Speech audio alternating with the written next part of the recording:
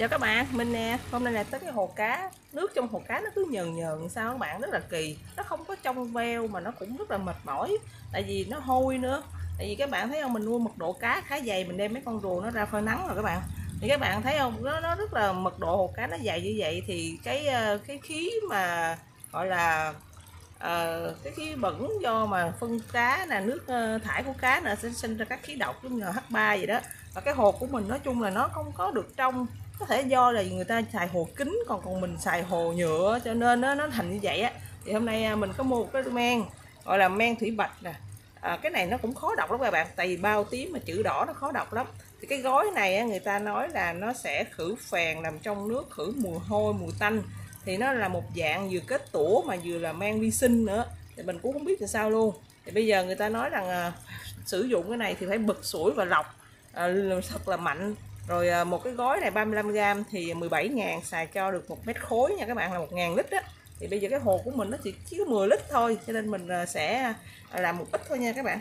Thử coi nó có trong hay không. Và hiện tại bây giờ á là à, 11 giờ trưa thì à, mình cũng tranh thủ. Thì mang nó nó như thế này nè nó vàng vàng vàng vàng nó giống như nghệ vậy bột nghệ rồi thì bây giờ mang hồ của mình có chút xíu à có 10 lít à. Thì um, bây giờ á một bịch này 35g thì xài cho 1.000 lít thì 3,5g thì xài cho 100 lít. Thì bây giờ cứ một muỗng à, này á, thì là một gram các bạn. Thì mình cũng không biết phải nói thì sao nữa. Thì thôi mình lấy lại đi. Thì cái hồ mình cũng bẩn quá thì mình lấy nửa muỗng đi ha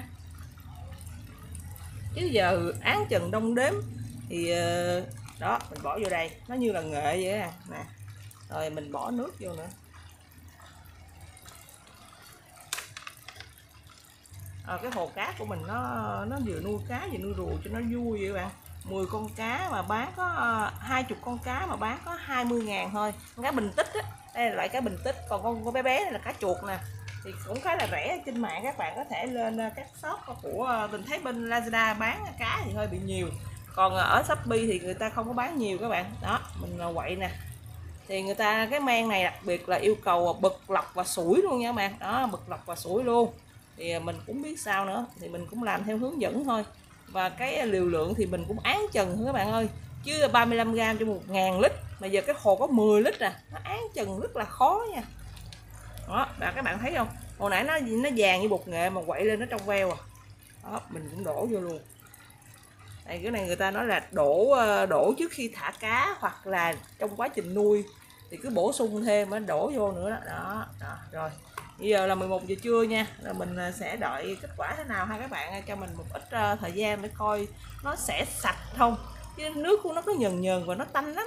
Là do phân cá và nước thải của cá đó cá nó nó tè chỏng á các bạn cho nên nó hôi lắm. Rồi đồ ăn của nó cũng phân hủy rồi nữa. Mình xài thức ăn rán nè mà nó vẫn rất là phân hủy đồ ăn nhanh lắm các bạn. Mình cũng không biết làm sao luôn. Các bạn cho mình ít thời gian ha. 2000 years later. Chào các bạn mình nè. Cái à, cái men vi sinh á là cái men vi sinh này á là vi sinh thôi các bạn không phải là men à, trong nước đâu nha các bạn. Cái con rùa nó tưởng là đồ ăn của nó nè. Cái nó chỉ tạo ra hệ vi sinh ở trong hồ cá hoặc hồ rùa thôi. Nhưng mà mình nuôi hai loại này chung á, cho nên nó rất là dơ.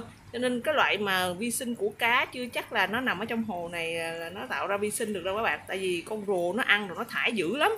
Thì à, nó sẽ bẩn rất là nhanh so với con cá. Và nếu à, các bạn muốn tìm một hệ vi sinh của rùa thì mình sẽ giới thiệu các loại vi sinh khác của con rùa nha, dành riêng cho con rùa nha các bạn. Còn thường là chúng ta thường sẽ dùng mà mang vi sinh của cá dùng trong à, hồ rùa. Thì hồ rùa thì à, nó sẽ nhanh hôi lắm các bạn. Cho bà hồ cá, các bạn có thể để 3 ngày sẽ có lượng vi sinh nó xuất hiện. Nhưng mà hồ rùa nếu các bạn để y như vậy á, thì cái lượng vi sinh nó chưa kịp xuất hiện thì cái hồ nó đã bị đục rồi. Tại vì các bạn thấy không, nó ăn khá là nhiều nè, nó ăn rất là nhiều và nó thải ra cũng nhiều. Hả con rùa mình nuôi nè các bạn giờ mình mình búng búng tay cái nó chạy theo nè đó. Đó, mình búng búng tay nó chạy qua đây nè. À, nó cũng khô mà các bạn nuôi một thời gian cái nó mến chủ á. Các bạn chỉ cần để cái tay vô là nó sẽ chạy theo luôn á. Rất là dễ thương nó tên là con à, rùa nè các bạn. Rồi chào các bạn nha. Thì à, mang thủy bạch này á nó bán ở trên mạng cũng nhiều lắm. Nếu các bạn muốn xài thì mình thấy nó cũng ok đó. Nhưng mà chỉ để hơi đối hồ cá thôi các bạn. Tại vì nó mau dơ lắm và các bạn phải để tới 3 ngày thì nó có lượng vi sinh nha. Rồi các bạn chào các bạn nha.